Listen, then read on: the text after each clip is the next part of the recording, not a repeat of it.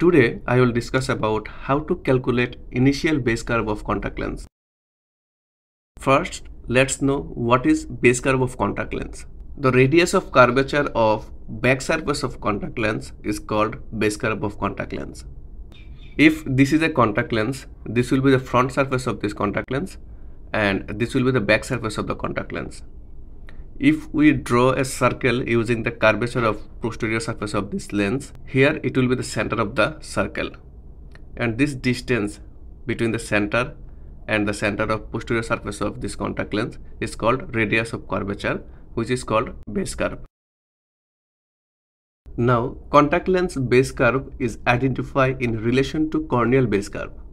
Initial trial contact lens base curve in relation to corneal base curve is for soft contact lens, either base curve in millimeter equal to base curve of average k plus 1 mm or base curve in millimeter equal to base curve of flat k plus 0.8 mm.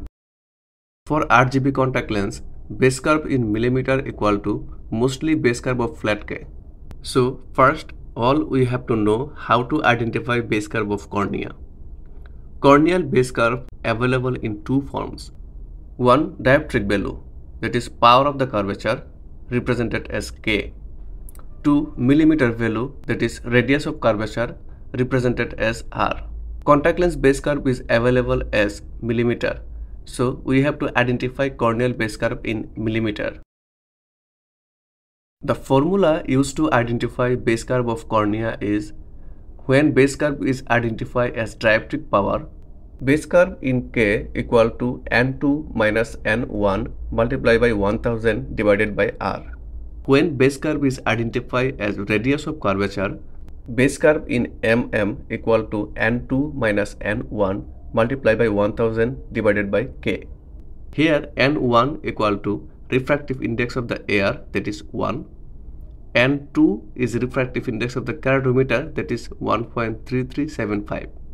R equal to base curve in millimeter, K equal to base curve in dioptric power.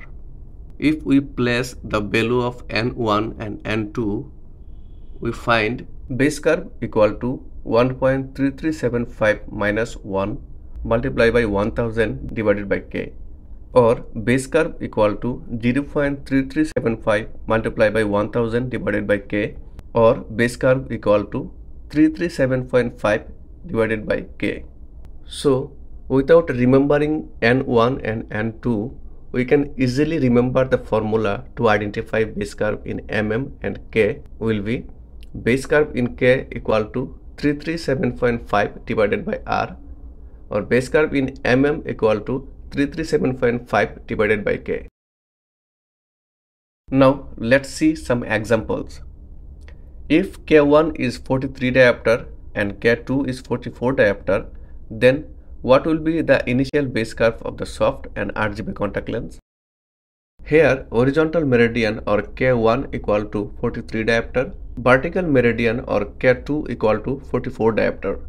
We already know that for soft contact lens we can choose initial base curve either from average K or from flat K. Here average K equal to 43 plus 44 divided by 2 or 87 divided by 2 or 43.5 diopter and flat K equal to 43 diopter. Remember lower the power flatter it is. As one meridian is 44 and another meridian is 43 so 43 will be flatter than 44. Now for average K corneal curvature in mm will be base curve in mm equal to 337.5 divided by K or base curve in mm equal to 337.5 divided by 43.5 or base curve in mm equal to 7.75 mm. This 7.75 mm is the actual corneal curvature based on average K. So initial base curve of a soft trial contact lens will be base curve in mm equal to base curve of average K plus 1 or base curve in mm equal to 7.75 plus 1 or base curve in mm equal to 8.75 mm. If we want to identify initial base curve of soft trial contact lens from flat K, then corneal curvature in mm will be base curve in mm equal to 337.5 divided by flat K or base curve in mm equal to 337.5 divided by 43 or base curve in mm equal to 7.85 mm. This 7.85 mm is the corneal curvature based on flat K.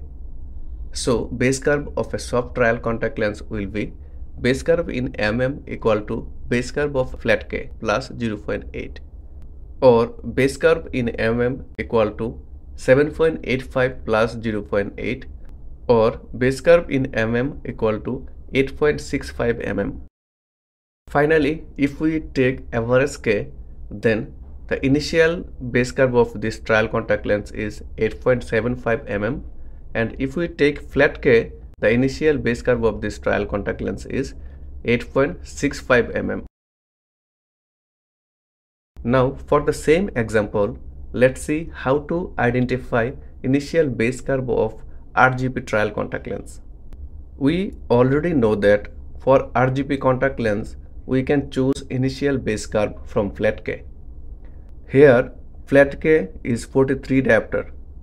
So, for flat K, corneal curvature in mm will be base curve in mm equal to 337.5 divided by K or base curve in mm equal to 337.5 divided by 43 or base curve in mm equal to 7.85 mm.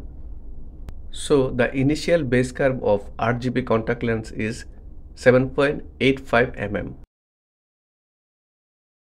Now let's see the effect of base curve in contact lens fitting. The effect of base curve is more significant in RGP lens than in soft contact lens. Because RGP lenses are rigid and create a gap in between the cornea and the contact lens if base curve is steeper or flatter. In this gap, tear accumulate and form a tear lens. When a tear lens is formed, the effective power of the RGP lens is changed.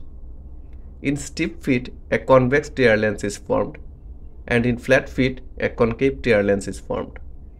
In steep fit, minus power of the contact lens is decreased and plus power of the contact lens is increased.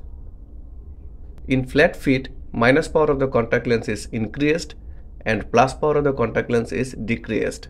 Let's see how a steep fit formed a convex tear lens and how a flat fit formed a concave tear lens. In steep fit, the periphery of the contact lens is attached with the periphery of cornea and there is a gap between central anterior surface of cornea and central posterior surface of the contact lens.